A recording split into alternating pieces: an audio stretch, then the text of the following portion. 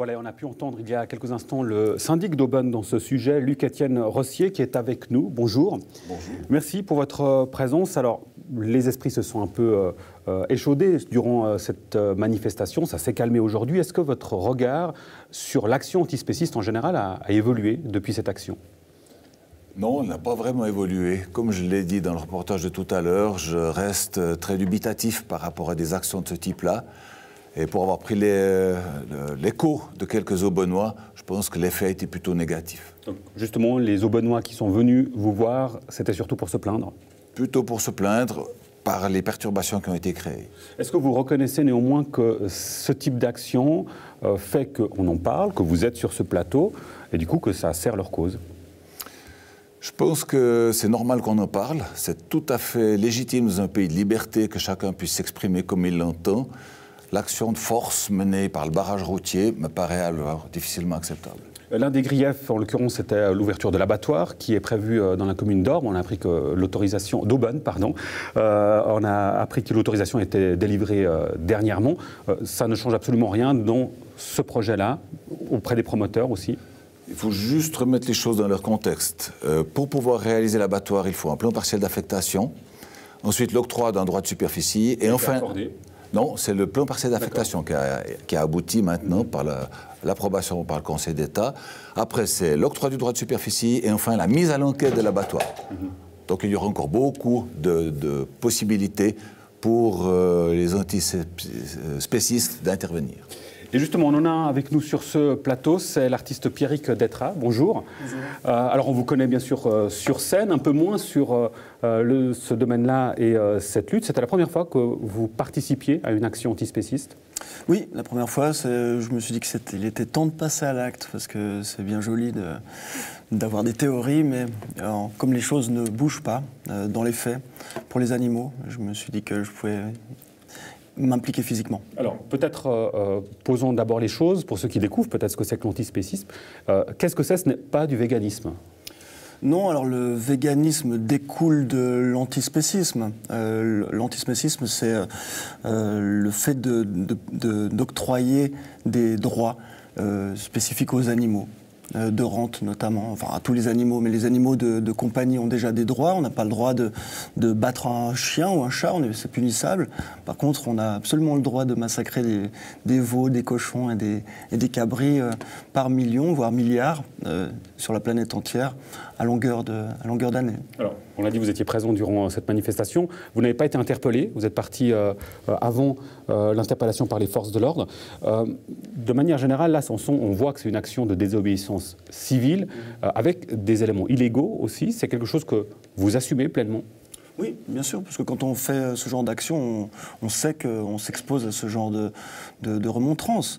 Mais euh, en, même temps, les animaux, eux, ils n'ont absolument aucun droit à la parole. Donc euh, si on ne le fait pas à leur place, qui va le faire? Et ceux qui vous rétorqueraient en disant bah, il y a des voies légales pour se faire entendre, en Suisse d'autant plus, euh, plus facilement qu'ailleurs? Bah, Les voies légales, en général, elles passent par ce genre de, par ce genre d'action. En tout cas, dans ce... D'action ce, illégale, en l'occurrence. D'action illégale, mais quand on doit faire bouger des choses qui sont inamovibles, en tout cas jusqu'à aujourd'hui, il n'y a, a, rien qui bouge, c'est inamovible depuis des, centaines, voire des milliers d'années.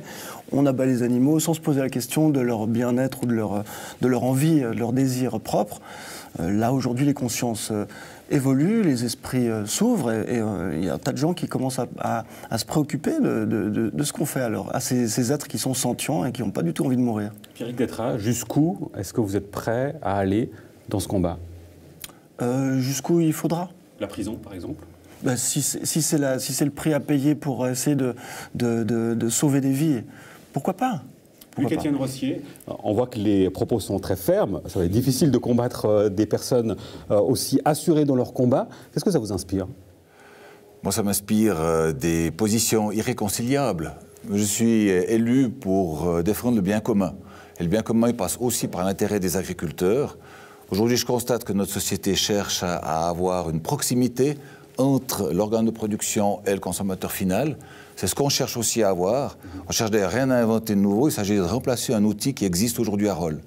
Et les agriculteurs de nos deux régions, que ce soit celle de Nyon ou celle de Morges, en ont véritablement besoin. Donc mon rôle il consiste au fond à défendre ce bien commun. J'entends bien euh, ce qui nous est dit aujourd'hui, mais je ne peux pas y adhérer. Alors, à l'inverse, Pierrick Détra, que vous inspirent les propos du syndic d'Aubonne, qui reflètent aussi, de manière générale, les propos des autorités ben, en fait, euh, on, sait bien que le fait que l'abattoir soit euh, à proximité des consommateurs ne garantit pas euh, le fait que les animaux soient abattus dans de bonnes conditions. Les, caméras cachées, enfin les films de, caméras cachées qui sont sortis ces derniers mois le prouvent. Donc c'est des abattoirs qui sont dans la région, hein, qui, ont, qui, qui, font des, actions qui sont totalement illégales. Et puis il y a plein d'abattoirs dans le coin, à 30, 30 km de, de rayon d'Aubonne c'est pas du tout, du tout nécessaire qu'un nouvel abattoir, même s'il a toujours existé, enfin jusqu'à maintenant il a existé, s'il n'existe plus, ça changera rien au problème.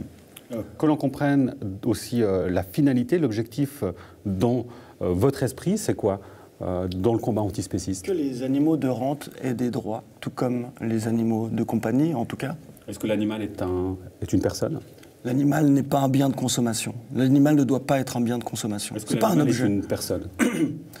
une personne, moi je considère ça un être, c'est un être vivant avec euh, des, facultés euh, et, des, des, réflexions qui lui sont propres, un instinct. Euh, oui, l'animal est une personne. Pour je me permets de vous faire réagir sur des propos que vous avez tenus à la RTS, où on vous posait la question, c'est votre compagne qui vous demandait si vous deviez choisir entre votre fils et un animal. Vous avez clairement dit que c'était votre fils que vous choisissiez. C'est toujours le cas aujourd'hui? Alors aujourd'hui, après euh, débat, euh, suite à, ce, ce, petit échange, je dirais que je ne veux pas répondre à cette question parce que la question ne se pose pas en fait. Pourquoi?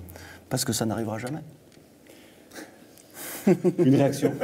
Ça vous fait rire? Oui, ça me fait rire, oui, je dois dire. Oui. Pourquoi? Je comprends que vous ne répondiez pas. Parce que le choix est impossible. Impossible. Mais vous privilégiez toujours votre enfant, j'en suis convaincu. Il ne répondra donc pas. Luc-Étienne Rossier et Pierrick Detra, merci beaucoup pour euh, votre présence et cet échange euh, sur ce plateau. Euh, j'en suis sûr qu'on aura encore l'occasion de revenir largement sur cette thématique.